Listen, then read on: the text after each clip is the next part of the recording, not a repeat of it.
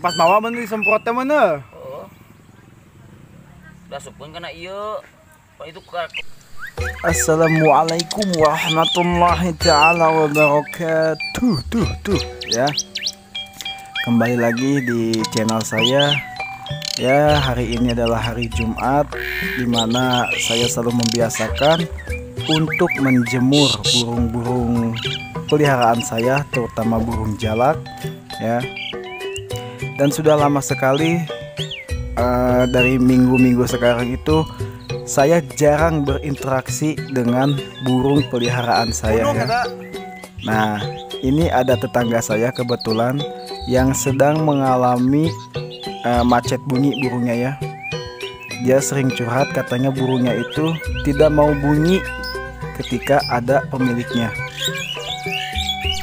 Dan saya seperti biasa ketika mengatasi burung yang sedang mengalami macet bunyi saya selalu membiasakan mengkrodongnya ya paling lama itu seminggu atau dua minggu ya.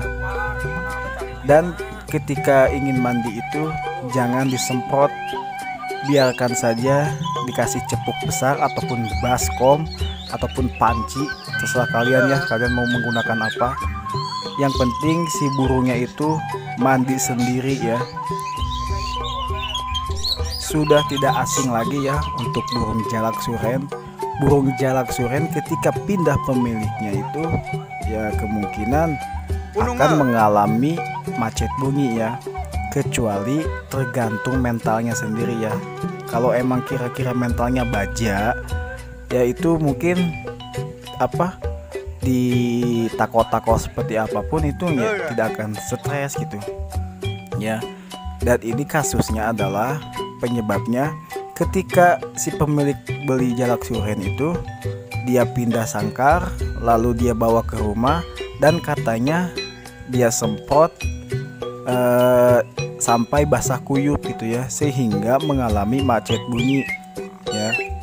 Ini lihat ini burungnya ya. Ini piring saya ini adalah betina ya. Tadinya pengen saya cek cuman gak enak punya orang lain burungnya.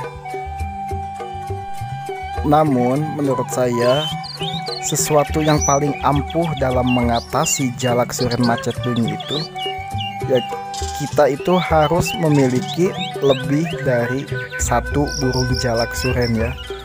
Agar kembali eh, apa terpancing emosi dan birahinya gitu ya. Sehingga dia itu lupa bahwa dia itu pemilik yang membuat dia itu stres gitu. Ya. Ini burung tetangga saya itu isiannya ada cililin katanya ada suara cililinnya suara ciplek gitu kan. Hebat sih ini burungnya ya menurut saya.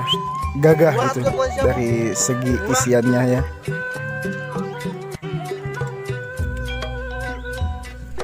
kadang ada orang yang selalu tidak sabar.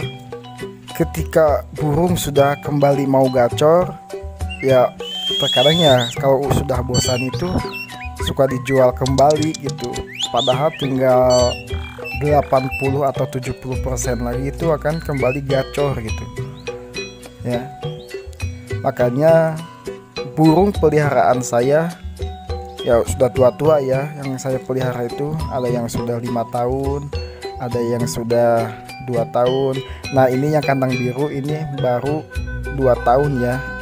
Dan yang di kandang coklat itu itu sudah berumur lima tahun di sayanya ya. Dan ini burung trucuk saya pun sudah apa jarang saya cocok ya. Makanya mumpung hari libur kan kebetulan hari Jumat hari yang cerah saya bawa ke depan saja eh, sekalian berjemur ya. Biar terlihat bunyi aja gitu. Sudah lama saya nggak apa nggak berinteraksi gitu. Dan ekstra puding favorit burung saya itu adalah ulat Hongkong ya. Kadang saya bisa memberikan ulat Hongkong itu 10 kadang saya biasa memberikannya ya paling sedikit itu 5 lah ya.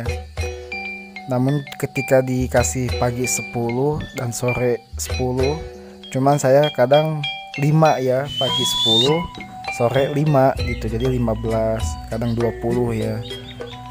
Dan terkadang pun orang bilang itu bang eh, apa katanya nggak baik ya ulat Hongkong terlalu banyak untuk burung itu. Yang menurut saya sih baik-baik aja ya. Dan saya pun tidak pernah mengalami kecelakaan atau mengalami apa gitu ya ketika saya berikan banyak ulat Hongkong tuh nggak apa-apa gitu nggak ada efek samping apa-apa. Kecuali uh, ulat Hongkongnya kalian suntik tramadol atau apa gitu ya baru mungkin. Dan dari tadi saya mengolah kata-kata saya itu saya sudah bingung ya. Nah sebelum itu biasanya suka ada tombol subscribe ya. Nah nah silahkan di subscribe dulu. Ya nggak di subscribe juga nggak apa-apa ya. Mau kalian smackdown ya silahkan smackdown kalian tombol subscribe nya ya. Oke lanjut.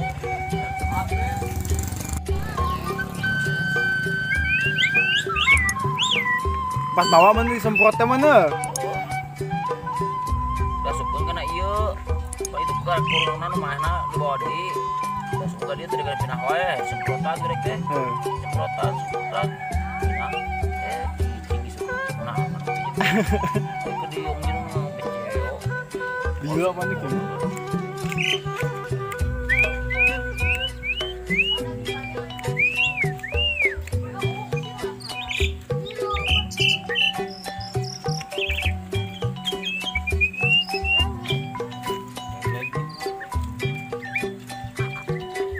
Nah, jadi itu kronologi penyebabnya jalak suren macet bunyi ya. Makanya ketika kalian baru membeli jalak suren, ya diusahakan ketika sampai rumah itu jangan dulu dibuka kerodongnya ya. Ya paling tiga hari ya kalau bener apa kalau baru pertama beli itu dan paling lama itu ya seminggu gitu dan jangan disemprot kalau disemprot ya akan seperti ini